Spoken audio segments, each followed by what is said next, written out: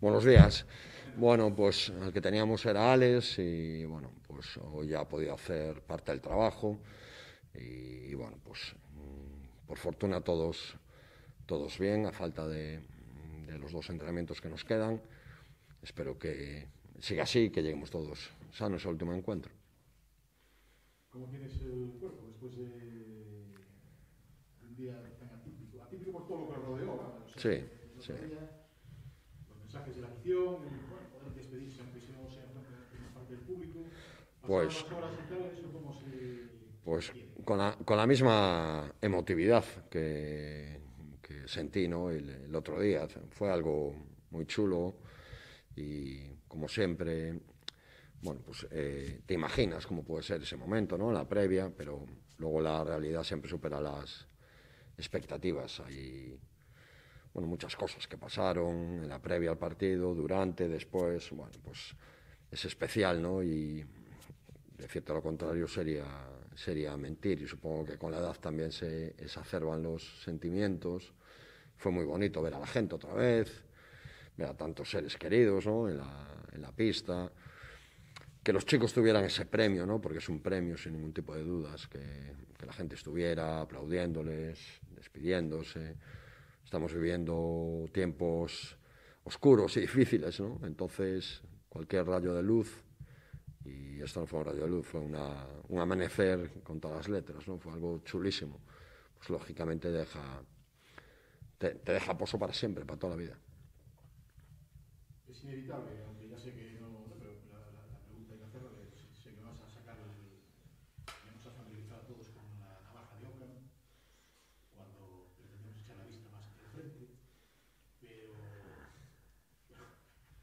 que dice Plume, de, de, de, seguro que Frank Gamba lo podría explicar mucho mejor, porque es física cuántica, y que lo oí otro día de casualidad, me dijo que yo creo que era algo así como que cuanto más sabes de la velocidad, menos sabes de la posición y viceversa. ¿no? Tú ahora mismo, ya sé que quedó un partido y tal, pero si tenemos el esfuerzo de echar la vista más al frente, ¿en qué punto estás en esas dos coordenadas? La velocidad, el tiempo, la situación, el... Sabes que, que mi formación es de humanidades, soy un tío de, de historia, entonces de filosofía...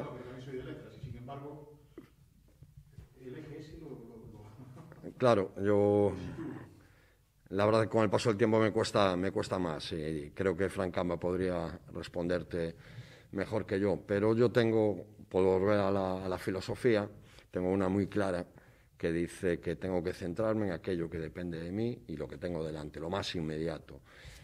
Pues ya que estábamos con filosofía medieval, pues vamos a volver al Carpe Diem, ¿no? El Carpe Diem dice que mañana entrenamos, que tenemos que preparar un partido. Y ahí es donde estoy ahora mismo, 100%. Sí, el Tempus Fugit, pues también eh, recuerdo un final de liga que, que puso un Twitter relacionado con eso.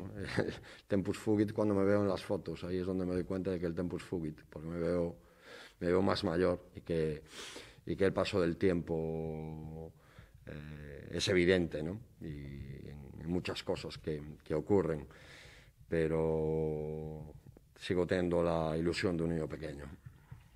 bueno, que sí tenéis es una tranquilidad que es impagable a estas alturas, ¿no? Sí, sí. El saber que has conseguido el, el objetivo en un año tan complicado, por todo lo que ya sabéis y de tanto que hemos hablado, pues lógicamente nos da, nos da tranquilidad, nos da satisfacción y a la vez es un aliciente para, para acabar de la mejor forma posible. ¿no? Siempre os digo que para nosotros, para nuestra organización, para la ciudad, para el club, jugar un partido de Liga Endesa es un privilegio estar ahí, ¿no? ¿Cuántos eh, les gustaría estar en nuestra posición? Entonces debemos afrontar este último compromiso eh, siendo fieles a nosotros. Eh, es decir, dar lo mejor y, realmente demostrar que, que es un orgullo, un honor, un privilegio el jugar un partido en una competición como es la Liga Endesa y, ahí debemos tener todo el foco, ¿no? Y el domingo a las, no sé, ¿qué hora es? A las diez y pico de la noche o a las 11, bueno, pues ya será el tiempo de vacaciones ¿no? para, para todos, o por lo menos unos días. Eh, pero hasta ese momento no, no debemos ni, ni podemos estar de vacaciones. Tenemos que, que ser fieles a, a nuestro club, a la organización, a todo lo que ello significa, a nosotros mismos sobre todo, eh, e ir a dar lo mejor de, de Obradoiro a, a la pista de San Pablo Burgos. ¿Qué esperas de Burgos? Pues espero el, el equipazo que son, sin ningún tipo de dudas. Yo creo que, bueno, sus títulos que han conseguido este año, eh, el haber jugado la Copa, la posición que, que, ocupan en la clasificación, en las estadísticas, pues demuestran quiénes son. Un auténtico equipazo, una gran plantilla, muy veterana, la más veterana de la liga, con lo que ello implica de saber, de conocimiento, y que Joan ha sido capaz de encontrar la fórmula para que rindan a un nivel excepcional, cuando además muy bonito, defendiendo muy bien, con baloncesto muy atractivo. Ese es el, el Burgos que me espero. Volviendo al, al foco del equipo, ¿no? que dices que hasta el domingo por la noche no, no tocan pensar en lo de después. Eh, ¿Viste al equipo centrado el, el partido del miércoles, digamos, con, con sus errores, lógicamente, ¿no? Sí. de, de aciertos, pero no, no se vio un equipo relajado o, eh, digamos, consciente de que conseguido ¿no? Yo no utilizaría esa, esa eh, eh, expresión. Hay, lo, que sí, vi al equipo un poquito más nervioso, o algún jugador ¿no? un poco más nervioso que, que en otras ocasiones, pero es inevitable, es inevitable porque la experiencia te la da el paso del tiempo, ¿no? Y hasta que no vives las experiencias, pues no las adquieres, es así. Y, y bueno, pues si escucharéis el grito de frustración o de rabia que, dio Cas cuando no entró el segundo tiro libre, pues es la mejor muestra de que de relax eh, ninguno. Nerviosos en algunos momentos puede que sí, y, pero en absoluto. Yo creo que incluso eh, la sensación de desazón, de tristeza que había en el vestuario al acabar el partido es una buena muestra, porque en, el ánimo de todos estaba poder dedicarle ese triunfo a la, a la afición, ¿no? Y, los vi bastante, bastante hechos polvo al acabar el partido por, por, haber, por haber perdido, ¿no? Entonces, bueno, esa es la mejor muestra de, de, del compromiso ¿no? de estos jugadores. Y no, no, sé si tanto miércoles como a lo mejor ayer o hoy, pero se, bueno, han hablado entre ellos sobre el, su, su, primera vez, ¿no? Su primera vez con, en la caldeira, como, como debería ser. ¿no? Bueno, yo, yo, creo que vosotros ¿no? lo habéis publicado, las, las sensaciones de, eh, los jugadores, ¿no? Eh, sobre todo para aquellos que era la, primera vez.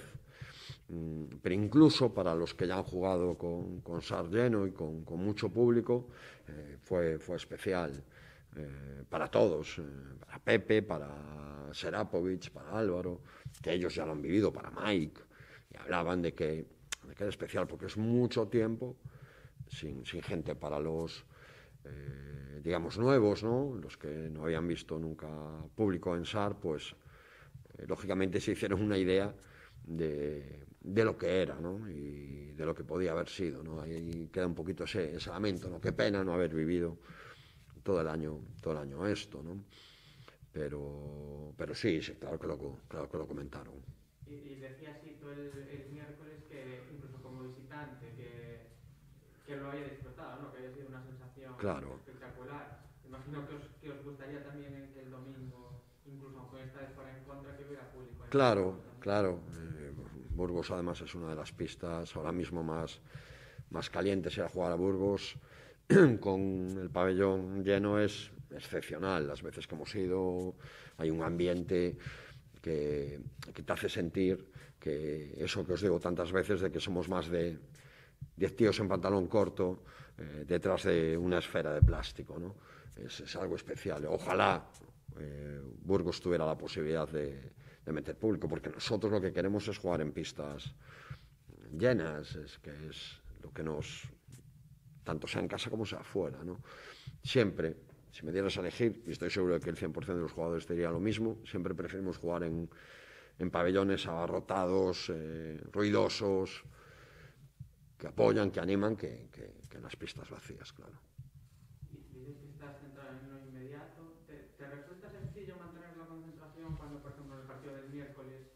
eh, digamos que buena parte del foco de la afición está en, en pedirte que te quedes aquí, cuando los comentarios en las redes sociales eh, también van el 99,9% en ese sentido, y cuando alrededor se está hablando de esto. Es que no sé si eh, el calificativo a utilizar es sencillo o complicado, es que es eh, lo que hago siempre, lo que me toca siempre. ¿no? Hemos vivido muchas situaciones eh, especiales a lo largo de, de, todos estos años, este año especialmente, y, y, y, lo que hay que hacer es centrarte en lo que, en lo que depende de ti. ¿no? Y es, es algo que os digo y os repito y os repito y os repito porque es lo que hago. Es que es lo que hago. Ayer me preguntaba ahora Manolo si ayer el día me sirvió para. Ayer el día me sirvió para ver a Burgos jugar contra Bilbao y contra Zaragoza y contra Gran Canaria, que es lo que tengo que hacer y preparar el entrenamiento de hoy y preparar el entrenamiento de mañana. Y eso es lo, lo que depende. Entonces, cuando tienes una tarea, es muy sencillo focalizarte en ella y es lo, lo que hago. Yo creo siempre que cada cosa tiene su, su momento y ahora lo realmente importante es finalizar la temporada de la manera correcta. Y más allá de su calidad y su experiencia, de lo que ya has hablado, ¿qué, qué ves cuando, cuando ves jugar a, a Burgos? No es poco, ¿eh?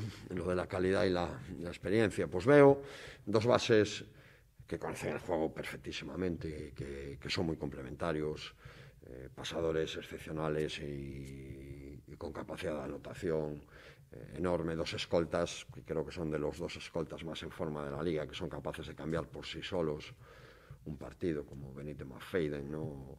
o Xavi Rabaseda y, y Salvó, bueno, pues utilizando su polivalencia para postear, imprimiendo otro nivel en la defensa, dándole juego de, de contraataque, unos pivots que se intercambian entre ellos, que te pueden jugar con dos pivos pequeños que pueden abrirse y a jugar a poste como Horton o, o Rivero, eh, o dos pivos más, más grandes y más físicos como eh, Dejan y, y Saco. Creo que es una plantilla larga, una plantilla polivalente, una plantilla veterana y que además, como te decía, creo que Joan ha encontrado la tecla para que funcionen eh, como un todo. A la retina siempre te viene su capacidad ofensiva porque llama muchísimo la atención todos los caminos que manejan, el contraataque, el juego de media pista, las áreas bloqueadas, pick and roll, pero defensivamente también son un equipo que se entrega mucho, eh, muy solidario y repito, y que los ves y ves que conocen eh, el juego, ¿no? No, no, hay, no hay ningún pardillo ni ningún jugador que cometa errores estúpidos, porque son jugadores que tienen muchos, muchos, muchos partidos encima.